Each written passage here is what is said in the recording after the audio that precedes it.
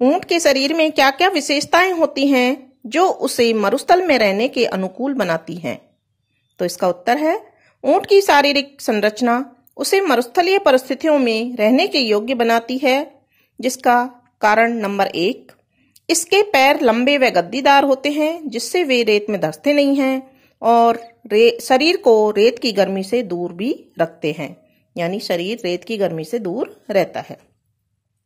इनमें मूसोर्जन की मात्रा भी बहुत कम होती है तथा मल शुष्क होता है।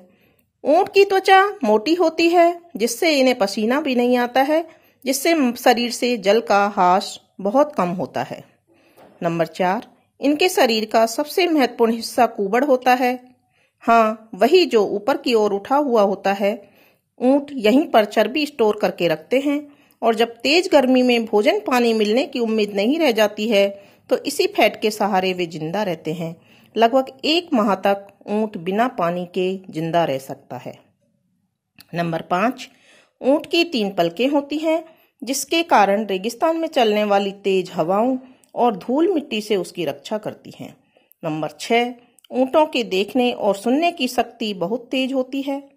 नंबर सात, ऊँट की त्वचा का रंग वातावरण के अनुकूल भूरा होता है, जो मरुस्थल में उसे रहने के योग्य बनाता है। नंबर आठ, ऊँट के होठ मोटे होते हैं, जिससे ये अपने नथुनों को ढक लेते हैं। और नंबर नौ, इन्हीं सभी विशेषताओं के कारण ऊँट को रेगिस्तान का जहाज़ कहते हैं।